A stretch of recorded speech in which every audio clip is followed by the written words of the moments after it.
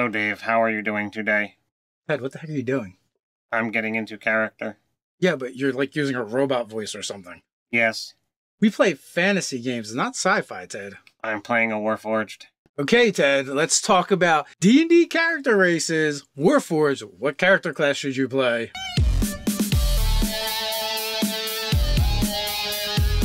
Welcome to Nerdarchy. For nerds, by nerds. I'm Nerdarchist Dave, and as usual, I'm hanging out with this nerd.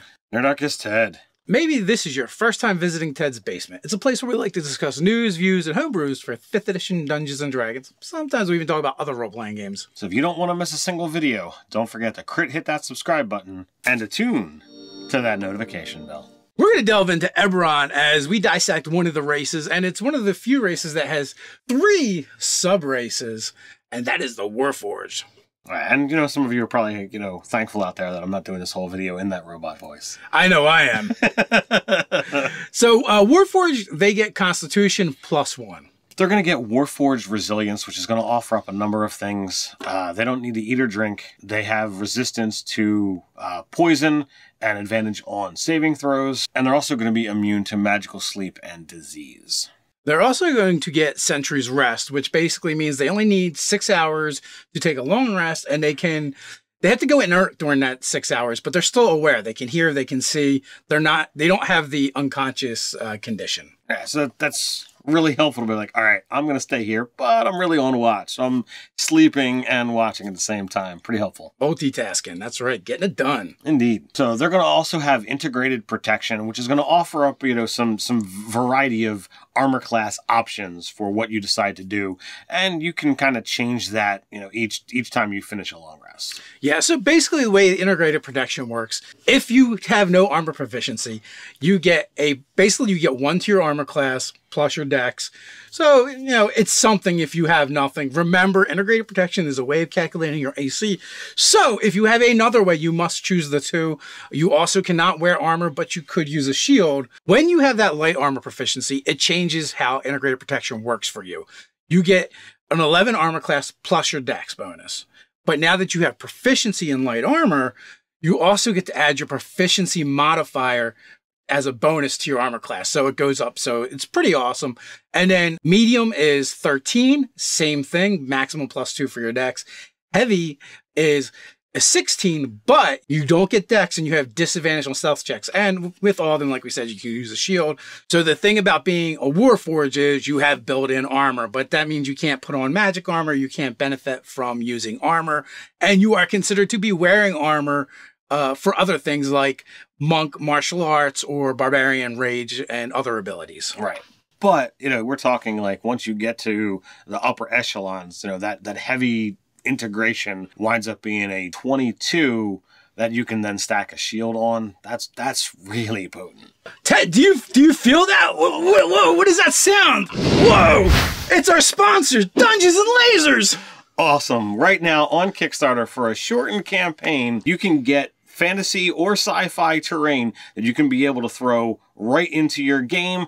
There's a lot of great options, a lot of great add-ons, a lot of great features. They're already more than 200% funded at the time of us filming this, and I'm certain by the time it goes up, it's going to be much more than that. I am already, you know, resigning to, to get on my pledge. I looked at it, I'm like, there's no reason why I shouldn't do this. All the levels are really good, and the the higher you go up, the more stuff you get. I've almost got Ted talked into going even higher, and he's like, "Are you saying I should do that?" I'm like, "No, Ted, I actually don't care."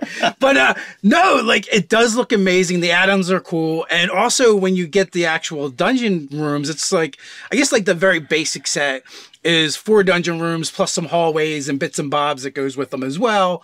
You're also going to get uh, some extra rooms, which is really cool. The way it works is your your core pledge. You can either go fantasy or sci-fi, and it's going to give you three rooms. That's ninety nine dollars. It's going to give you access to all of the, the unlocked stretch goals that get done throughout the campaign. If you decide to, Ted, that's core set plus three rooms. Yes, that's core set plus three rooms. You can choose from, you know, all the options that are there, whether you want three of the heroes hall or whether you want three different ones, totally works out that way. The engine room or the torture chamber, you pick. Warlock's Altar, I'm definitely looking forward to that one. But if you wind up increasing, you know, the, the different pledge levels, you get more extra rooms beyond twice the amount of uh, core set that you're getting. I'm torn of how high I want to be able to go because I definitely, you know, want to be able to use this stuff. Now you they actually sent it to you and you it was all pieces. It wasn't assembled. You had to assemble it. That is correct. Was it hard? No, it was not hard. You gotta, you gotta do, you know, you do have to snip the things out of their little, you know, wire frames. Uh, and this is only like the the demo box, you know, that, that they sent us to be able to look at and preview here. But it was, it came out pretty easily. In fact, my 11 year old was able to do most of the work, uh, and then snapping it together, connecting it in place was super easy, you know, super intuitive, and you know, I, I thought it was fantastic. I put this together in just a couple of minutes. Yeah, if you're considering getting, you know, Dungeons and Lasers, you're definitely going to want it to do it at the Kickstarter level. After the Kickstarter, everyone knows the prices are going to go up. Right now, they're offering tremendous deals. Looks fantastic. When you take it apart, it's going to be easy to store. I think it would be a great addition to any game, especially if you're using terrain in those games. Check it out. You can help support the channel by supporting the sponsor. Go take a look at their Kickstarter. All right, so now we're going to dive into the actual Warforged sub races, and where do we want to start? Well, we're going to start with the Envoy. The Envoy, in addition to getting their bonus to Constitution at plus one, they're going to get two floating plus ones that they can put in any stat they want. They cannot put those two plus ones in the same stat, though. So the Envoy is gonna gonna come with a specialized design. They're gonna have an integrated tool. They're gonna get a skill proficiency, and they're gonna get a language. They are designed to go out and do, to go out and talk. So they're gonna be equipped for those kinds of things. So being able to choose each of these things makes makes the Envoy super helpful and really tailored to whatever character it is that you want to make. Yeah, specialized design is one ability. Integrated tool is another. Specialized design is tool, language, and skill. Integrated is you get double your proficiency with a chosen tool. Uh, generally, it's going to be the one that's integrated. Only makes sense.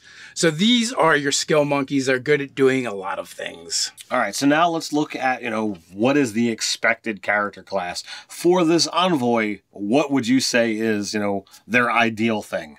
The envoy is a bit odd in the sense that they don't have an expected character class. Let me explain why. They are good at anything. You can use them to do anything. With those two uh, floating plus ones, that's going to be able to take your 15 and put it up to a 16 anywhere you want it. Now, you can take that other plus one and put it in con. That gives you a plus two to con, make a 14, a 16. That gives you your two 16s no one is going to not benefit from having a 16 con. And then being able to put a 16 in your other prime stat, whether it's your wisdom because you're a cleric, whether it's your, your uh, intelligence because you're a wizard, or whatever it is you want to play, they're really good at doing anything. And what they're going to add to that, whatever character class you choose is all those skills. So if you want to play a fighter and you want to be a skill heavy fighter, you can absolutely do that with the Envoy. We did actually pick one unexpected because there's only a handful of races that can do what the Envoy does. So the unexpected for this, and it really is unexpected because honestly, you know, when you talk about a, a character who is des- or a race that is designed to go out and and talk, really, realistically, the barbarian is not someone who you're like, yeah, you go out and talk to people, but the envoy has that three plus ones that it can play with, and a barbarian is very physical heavy. So if you go with a point buy, you can take three 15s and three eights put those eights into your mentals. You don't care about them anyway. And then you're going to start off the game with a 16 strength, a 16 dexterity, and a 16 constitution. Yep. And then at that point, you can choose whether you to use your integrated protection or use your unarmored defense as a barbarian. Either way, you're going to make out pretty well with that combination. So uh, the envoy will actually make a kick ass barbarian because you're going to have you have straight 16s in those physical stacks. There's only like we said there's only a couple races that can even do this. So you know i would take you know leather working tools so, you know for for tanning hides and that kind of stuff. You know you take your skill as survival or you know something along those lines and this this would make a fantastic barbarian. All right so next up we have the juggernaut uh, Warforged, and they get a strength bonus of plus two in addition to that plus one to con. So they're gonna have fists that you know you're able to you know punch for a D4 points of damage. They're not quite monks, but you know it's it's pretty awesome. And then they're gonna have powerful build like a handful of other races that already have you know that kind of feature. Juggernaut is clearly designed for the more physical, more martial character classes. It's designed to use that integrated protection and take the heavy armor and have heavy armor proficiency with it. All that is very uh, clear to me when I look at this. They're so that's why they're kind of light in their other abilities, in my opinion, because they're geared towards doing the thing. If you happen to be stuck without weapons, it doesn't matter. You kind of are a weapon because you're going to be able to punch and use your fists as if you know they were weapons, the tools to die for. It's not amazing, but you know it's uh, it's the the lower levels of a monk. Indeed. So for our expected character classes, it's what you think. We're talking fighter, we're talking paladin, we're talking barbarian, we're talking ranger. You know, you go in anything that you're going to be a strength-based warrior. This is where you're clearly going. Now, unexpected, we did we have some picks there.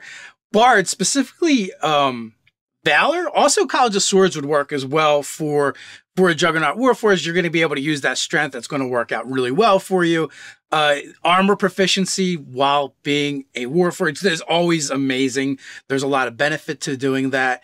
Uh, and then also for unexpected, the other option would be Cleric, especially if you're going with a more martial bent. Yeah, so if you're looking for War or Tempest, you know, something along those lines where you're honestly looking to get into melee uh, and and just you know throw down these these are your guys. Yeah, any actually any cleric that gets proficiency in heavy armor is going to be kind of amazing. Yeah, so like nature, right? These yeah. guys are all about nature. They're all clerics. about the nature. so next up, we're looking at the skirmisher sub race, and these guys are going to start off with a plus two to dex, and in, in addition to that con bonus. So they get two other abilities, one being swift, they add a five foot to their movement, and then the other is light step. And if you travel for more than an hour, you can actually move your normal speed and use stealth. So they're really good at overland movement and doing it quietly and sneaky. Yeah, I, I, remember these guys from from third edition, and they they had a smaller stature. They were you know smaller races, and they did away with that you know moving into fifth edition. But I thought I thought it was kind of cool. They still kept you know that that whole atmosphere of what the scout initially was with that plus two to dex and there's a variety of different you know classes that these guys are going to be good at you know dex and con that's you know that's going to gear you easily towards your ranger towards your rogue without a doubt any martial class that relies on dexterity, they're going to be good at. Fighter, ranger, rogue. Uh, being a rogue and being a warforged, having a super high armor class for a rogue is going to be amazing. And, that extra movement is always going to be useful as well. So, you know, they're really good at those classes. Unexpected with these guys were a little bit harder. Um, the only one that really comes to mind, in my opinion, is probably the monk because of the extra mobility. But, you know, monk is one of the worst classes for a warforged because wearing any kind of armor really messes with a lot of your monk abilities. So you have to go with the unarmored version. And then you, that means integrated protection pretty much means nothing to you. I would agree. So, dexterity and constitution, the skirmisher gets a bonus to both of them. And every character class benefits from a better AC and a better better hit points. So, realistically, while it's not ideal for you know anyone in particular everybody is still going to benefit from that so anyone playing a skirmisher is going to be advantageous now i will say there is kind of a catch-all unexpected for all the subclasses because of integrated protection anything that offers you any armor class whatsoever even if it's only a little bit is going to be super beneficial playing a Warforged because you get so much more bang for your buck with your armor class.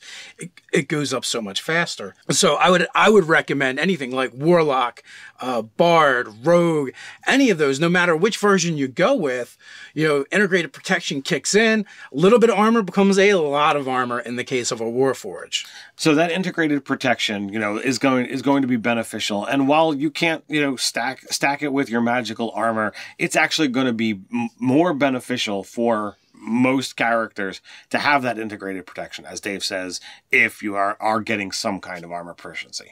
So the question is, what are you playing with your Warforged in your games? Before we head on out, I want to take a moment to invite you to join Nerdarchy the Adventuring Party over on Patreon. Ted, what can they expect over there?